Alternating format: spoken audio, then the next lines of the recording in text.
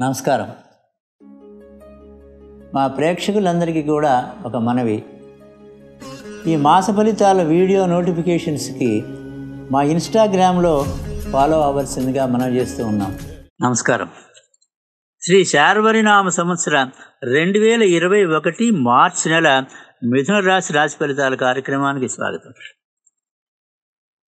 హరి ఓ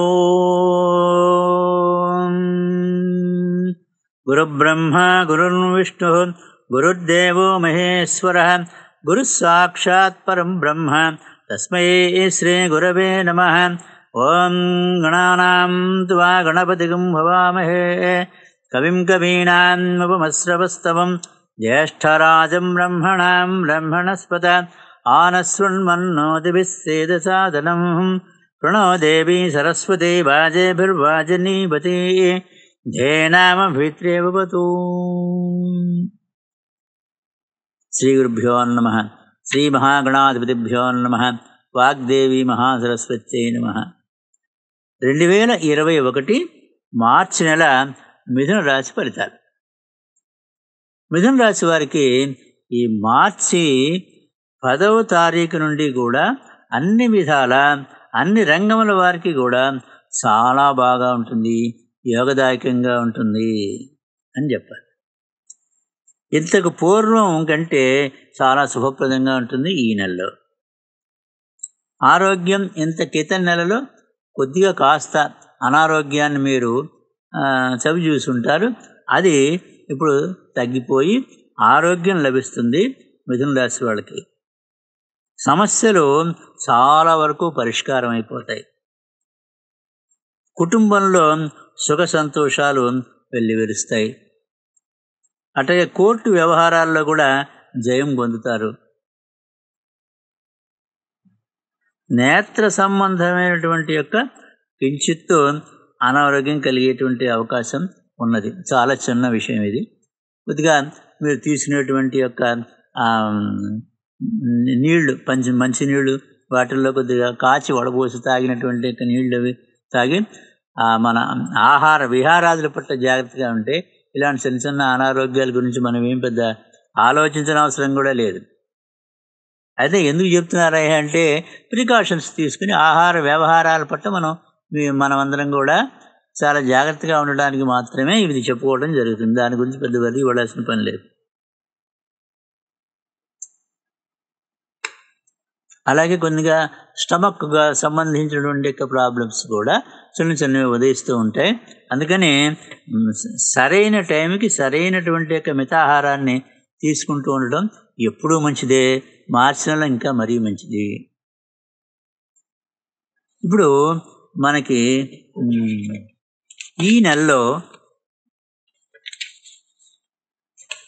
చతుర్గ్రహ కూటమి ఒకటి చోటు చేసుకుంటుంది. అంటే నాలుగు గ్రహాలు. జనరల్గా ఐదు ఆరు దాకా చూసాం మనం. నాలుగు గ్రహాలు పెద్దగా దాని గురించి చెప్పవలసిన పని లేకపోయినా జరుగుతుంది కాబట్టి చెప్తూ ఉన్నాం. చతుర్గ్రహ కూటమి తొమ్మిది పది పదకొండు తారీఖుల్లో గురువుగారు బుధుడు శని చంద్రుడు ఈ నలుగురు కలుస్తారు.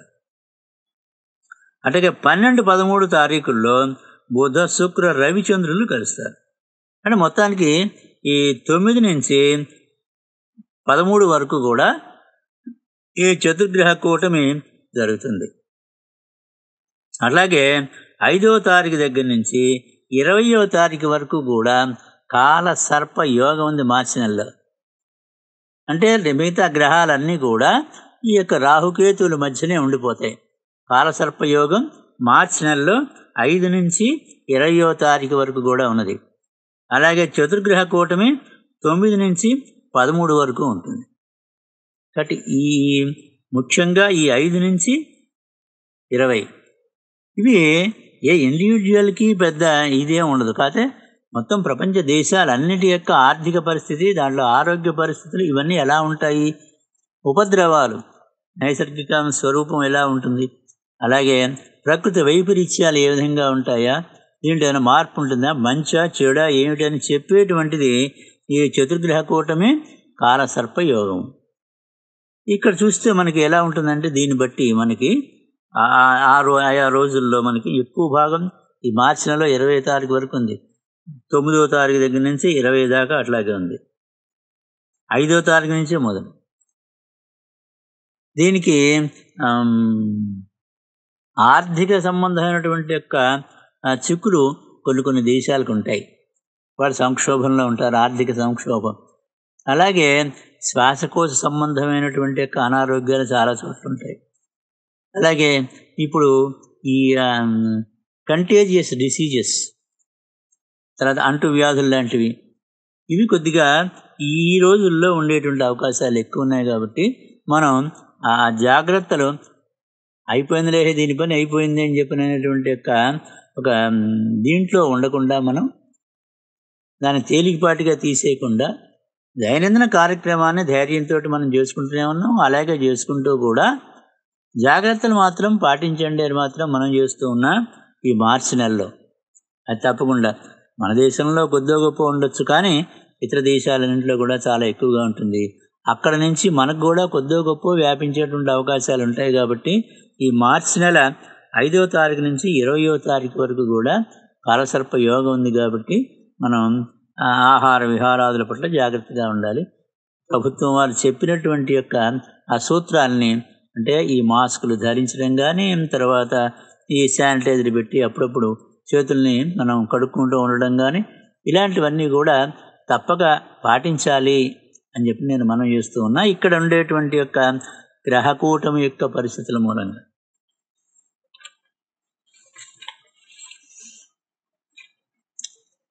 తర్వాత ఇప్పుడు గురువు గారి యొక్క సంచారం ఏ విధంగా ఉంటుంది? మిథున రాశి వారికి.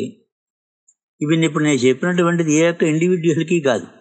కేవలము మిథున రాశి వాళ్ళకే కాదు. ప్రపంచ దేశాలన్నింటిలో ఉండేటువంటి యొక్క జనాభా. అంటే దేశం అంటే మట్టి కాదు దేశం అంటే మనుషులు అన్నాడు కదా. అందువలన ప్రపంచ దేశాల గురించి మనం చెప్పుకుంటూ ఉంటే అందులో ఉండేటువంటి జనాభాయే దేశం అంటే. కనుక మనం కూడా దాంట్లో ఉన్నాం కాబట్టి ఆ ఇవి జాగ్రత్తలు వహించాలని చెప్పి సామూహికంగా చెప్పుకుంటాం అంతేగాని మిథున రాశి వాళ్ళకి ప్రత్యేకించి ఇది ఏదో వస్తుందని మాత్రం మీరు అనుకోబోకుండా. చాలా క్లియర్గా చెప్తున్నాను అనేది. అందువలన ఇది అందరికీ వర్తించేటువంటిది సూత్రం. ఈ పంచ చతుర్గ్రహ పూ- కూటమి అలాగే కాలసర్ప యోగం. అందరూ జాగ్రత్త పడాల్సినటువంటిది. ప్రపంచ దేశానికి సంబంధించిన విషయాలు అవి. ఇండివిజువల్ కాదు. గురువుగారు ఈ మిథున రాశి వాళ్ళకి సప్తమ దశమాధిపతి. సప్తమ దశమాధిపతి అయినటువంటి యొక్క గురువుగారు అష్టమంలో మకర రాశిలో లోహమూర్తిగా సంచారం చేస్తూ ఉన్నాడు. అయితే వారి యొక్క ఉపయోగం ఏమిటండి? మనకి ఎలా ఉంటుంది? ఈయన యొక్క సంచారం మనకి ఏం చెప్పనంటే అది అక్కడ శనితోటి కూడా సంచారం చేస్తూ ఉన్నాడు కాబట్టి ఆయనకి నీచ భంగం జరిగి రాజయోగం పట్టింది కాబట్టి ఇదిగో ఈ మిథున రాశి వారికి ఆ రాజయోగాన్ని అనుభవిస్తూ ఉంటారు. అయితే శని ఇంట్లోనే ఉన్నారు కాబట్టి ఏదైనా కొంచెం కించిత్తు అనారోగ్యమైనటువంటిది జరగచ్చు. అది మామూలు స్టమక్ ఇలాంటి పెయిన్స్ ఏదన్నా స్టమక్ డిజార్డర్స్ కానీ ఇలాంటిది జరిగే అవకాశాలు ఉన్నాయి కొద్దిగా మనం ఆహార నియమాలు పాటించుకుని ఉండాలి. అంటే సరైనటువంటి సమయంలో సరైనటువంటి యుక్తమైనటువంటి యొక్క ఆహారాన్ని తీసుకుని జాగ్రత్తగా ఆరోగ్యాన్ని మన పిల్లల్ని కూడా జాగరూకత మనం చేసుకుంటూ ఉండాలి. అలాగే మన మన యొక్క ఆరోగ్యం కూడా మన ఇంటికి పెద్దవాడు కూడా అటువంటి వాటి నియమాల్ని పాటించి జాగ్రత్తగా ఉండాలి. ఈ యొక్క మార్చి నెల. శని సంచారం ఏ విధంగా ఉంటుంది? శని సంచారం శని ఎవరయ్యా? ఈ మిథున రాశి వారికి అంటే అష్టమాధిపతి భాగ్యాధిపతి. అష్టమ భాగ్యాధిపతి అయినటువంటి యొక్క శని మేము మీకు అష్టమ స్థానంలోనే సంచారం చేస్తూ ఉన్నాడు. చాలా యోగదాయకం. ఏమంటే అష్టమ సంచ అష్టమాధిపతి అష్టమ శనిలో ఉన్నాం. ఇప్పుడు మేము మిథున రాశి వాళ్ళం. అన్నీ ఘోషిస్తున్నారు. ఎక్కడ పడితే అక్కడ అందరూ కూడాను. ఇది బాగా ఉందని మీరు చెప్తారు. ఏంటి మాకు అంత అనుమానంగా ఉంది? భయం భయంగా ఉంది? మీరు చెప్పిన దగ్గర నుంచి అన్నీ ఇంకా అనుమానాలు పెరుగుతున్నాయండి. ఒకళ్ళు ఒక రకంగా చెప్తారు. మీరు ఒక రకంగా చెప్తారు. ఏది నమ్మాలో ఏది అక్కర్లేదో తెలియటం లేదండి మాకు అని చెప్పినని ఓ అసంఖ్యాకంగా మెసేజ్లు ఉత్తరాలు వస్తుంటాయి. దాని గురించి ఏంటంటే వివరణ? అష్టమ స్థానాధిపతి అష్టమంలోనే ఉంటే శుభయోగం అని శాస్త్రం ఉంది. కాబట్టి అష్టమాధిపతి మిథున రాశి వాళ్ళకి. అష్టమాధిపతి అష్టమ స్థానంలో ఉంటాడు. ఎవరుంటే వాడుంటే యోగం కాదండి. స్థానభ్రంశం అయిపోయి మన ఇల్లు ఉన్నప్పటికీ కూడా ఆ ఇంట్లో లే ఉండటానికి అవకాశం లేక బజార్లో కూడా తిరుగుతూ ఉండేటువంటిది అవయోగం. మన ఎక్కడొక్కడ మన ఇల్లు ఉంది. ఏదో పాక కొంప ఏదైనా ఉంది. ఎక్కడ తిరిగినా ఆ ఇంట్లోకి వెళ్తే ఉంటే తింటాం లేకపోతే మనుషులు దాగానే పడుకోవడానికి అవకాశం ఉండేటువంటి యొక్క నివాస స్థానం మనకుంటే అదొక అదృష్టం కదా. అందువలన అష్టమాధిపతి అయినటువంటి వాడు శని వాడింటో వాడే సంచారం చేస్తూ ఉన్నాడు. అందువలన అష్టమ శని దోషం లేదు మిథున రాశి వాళ్ళకి. మిగతా వాళ్ళకి ఉంటుంది. మిగతా రాశుల వాళ్ళకి ఇలా అష్టమంలో శని కనుక వచ్చినట్టయితే వాళ్ళకి అష్టమ శని దోషం ఉంటుంది. మిథున రాశి వాడికో ఉండదు. ఎందుకని అష్టమాధిపతి అష్టమంలోనే సంచారం చేస్తున్నాడు కాబట్టి వాళ్ళకి ఉండదు వాళ్ళకి వర్తించదు. అందువలన శని సంచారం మీకు బాగా ఉంది. పైగా గురువు గారు కూడా శనితో కూడా సంచారం చేస్తూ ఉంటే రాజయోగాన్ని ఇస్తున్నాడు గురువుగారు. శని కూడా కించెత్తు కాస్త శ్వాస సంబంధమైనటువంటిదో లేకపోతే స్టమక్ డిజార్డర్స్ ఇలాంటి ఏదైనా కించెత్తు అనారోగ్యం ఉంటుంది తప్ప మొత్తం మీద పూర్తిగా ఆరోగ్యంగానే ఉంటుంది. అష్టమాధిపతి అష్టమంలో అష్టమస్థానం అంటే ఆరోగ్య ఆరోగ్య స్థానాధిపతి ఆరోగ్య స్థానంలోనే ఉన్నాడు. నేను చెప్పండి దీనికి కా మామూలుగా ఎందుకంటే పెద్ద జ్యోతిశాస్త్రం చదువుకోకల్లా అష్టమాధిపతి అష్టమంలో ఉన్నాడు. అంటే అది ఆరోగ్య స్థానాధిపతి ఆరోగ్యం స్థానంలోనే ఉన్నాడు అంటే ఏం చెప్పుకోవాలి మనం? దీనికి పెద్ద శాస్త్రాలు ఏమి పరిజ్ఞానం అక్కర్లా అంటే మంచి యోగాన్ని ఇస్తాడు ఆరోగ్యాన్ని ఇస్తాడని చెప్పుకోవాలి. అది. ఆ రకంగా శని యొక్క సంచారం అనుకూలంగా ఉంది. ఇప్పుడు రాహు యొక్క సంచారం. రాహు సంచారం రాహు ఎక్కడ? వృషభ రాశిలో సంచారం చేస్తూ ఉన్నాడు. మిథున రాశి వాళ్ళకి వృషభ రాశి ఏ రాశి అవుతుందండి? పన్నెండవ స్థానం అవుతుంది. అంటే వ్యయంలో రాహు సంచారం చేస్తున్నాడు. అయితే అక్కడ ఉచ్చ స్థితిలో సంచారం చేస్తూ ఉన్నాడు. పైగా ఎలా సంచారం చేస్తున్నాడండి? సువర్ణమూర్తిగా సంచారం చేస్తూ ఉన్నాడు. సువర్ణమూర్తిగా సంచారం చేస్తుంటే నీకేం చెప్పాను మనం ఎప్పుడు మనం మొదటి నుంచి మొట్టమొదట రాశిపదాలు చెప్పుకున్న దగ్గర నుంచి కూడా ఈనాటి వరకు కూడా సువర్ణమూర్తి రైతమూర్తి లోహమూర్తి తామ్రమూర్తి వీళ్ళ యొక్క విశేషాలన్నీ కూడా మనం చెప్పుకుంటూనే ఉన్నాం. కాబట్టి ఇప్పుడు సువర్ణమూర్తిగా సంచారం చేస్తుంటే రాహు పూర్తి శుభుడు అనుకూలుడు. కాబట్టి రాహు సంచారం చాలా బాగా ఉంది. పట్టుదలతోటి కృషి చేస్తారు. వ్యయంలో ఉన్నాడు కాబట్టి శుభవ్యయం చేయిస్తాడు. అంటే ఎవడు కొనుక్కోవటమో చేయటమో శుభానికి కొన్ని ఖర్చులు చేస్తూ ఉంటాం అలాగే అక్కడే రాహు కూడా ఉన్నాడు అక్కడే కుజుడు కూడా ఉన్నాడు. కుజరాహు యొక్క యోగంలో ఉన్నారు మిథున రాశి వాళ్ళు. చాలా యోగదాయకమైనటువంటి శుభవ్యం. కుజుడు అక్కడ మీకు కుజుడు స్థలాలు పొలాలు ఏదో ఇళ్ళు ఇప్పుడు ఏదో అపార్ట్మెంట్లు ఇలాంటి వాటికి భూదేవి యొక్క కుమారుడు కదండి. అందువలన అలాంటిది ఏదో ఒకటి వరకు కొనడానికి ప్రయత్నాలు చేస్తారు. స్థలమో పొలమో మరి ఏదో తోటలో లేకపోతే చిన్న అపార్ట్మెంట్ ఏదోటి అలాంటి దానికి ఒక ప్రణాళికనైనా సిద్ధం చేసుకుంటారు మార్చి నెలలో. అది రాహు యొక్క సంచారం సువర్ణమూర్తిగా సంచారం చేస్తున్నాడు చాలా బాగుంది. అలాగే కేతు యొక్క సంచారం వృశ్చిక రాశిలో సంచారం చేస్తూ ఉన్నాడు ఆరింట సంచారం చేస్తూ ఉన్నాడు మిథున రాశి వాళ్ళకి. పైగా ఎలా సంచారం? సువర్ణమూర్తిగా సంచారం చేస్తూ ఉన్నాడు. చాలా బాగుంది. సువర్ణమూర్తిగా సంచారం చేస్తున్నాడు. అత్యంత యోగదాయకమైనటువంటి సంచారం కేతు సంచారం మీకు.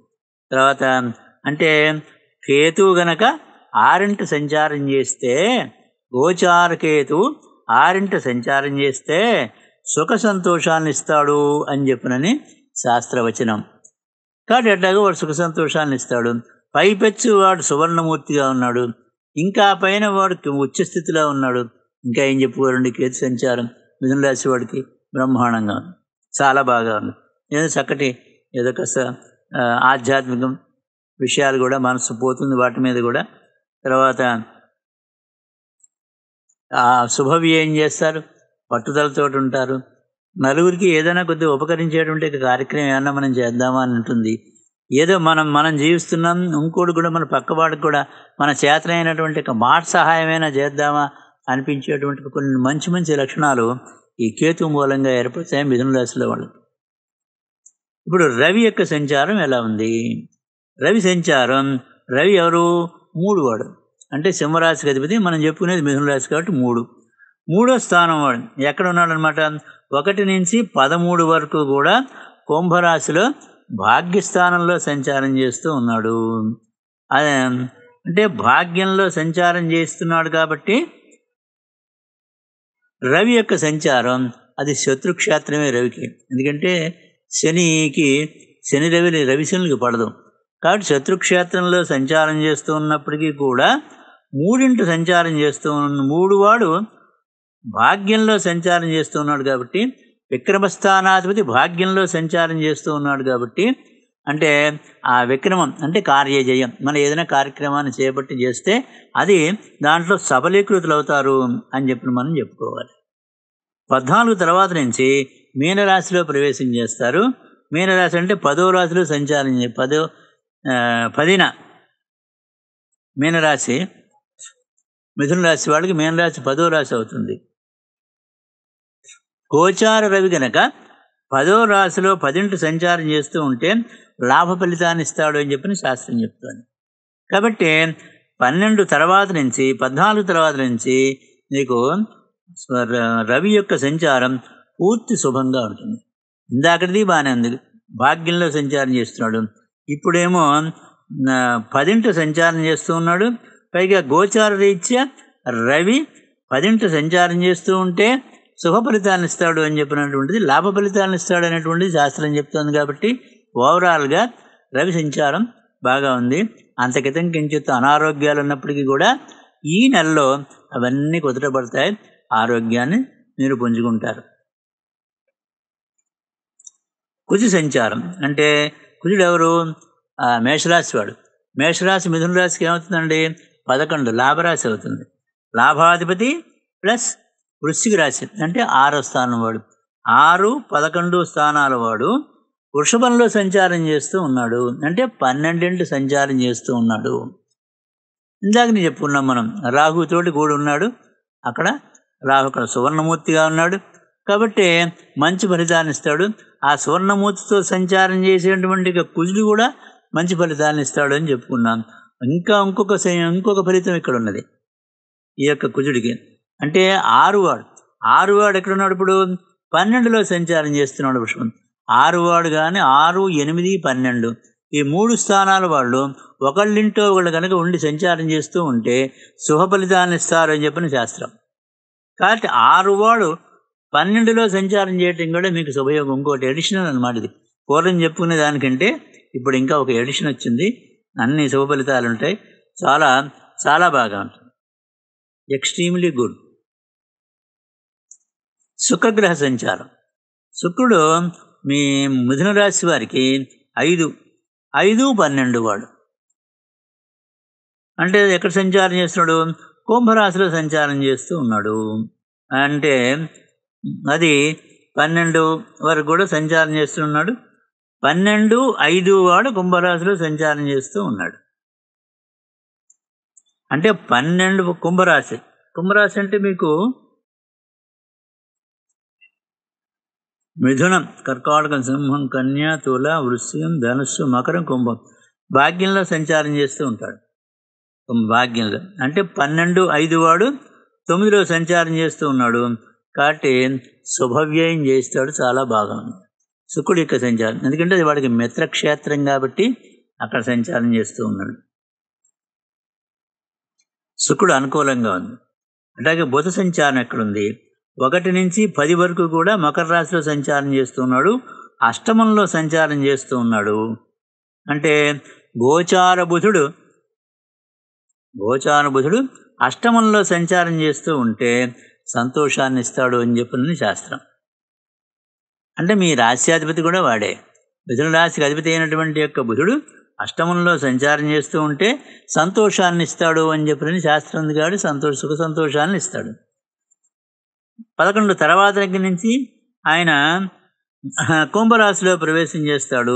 అది పూర్తి మిత్రక్షేత్రమైంది. చాలా బాగా ఉంది. కాబట్టి బుధుడు మొత్తం మీద బుధ యొక్క సంచారం బాగా ఉంది. విద్యార్థులకి గురుబలం మూలంగా బాగుంది.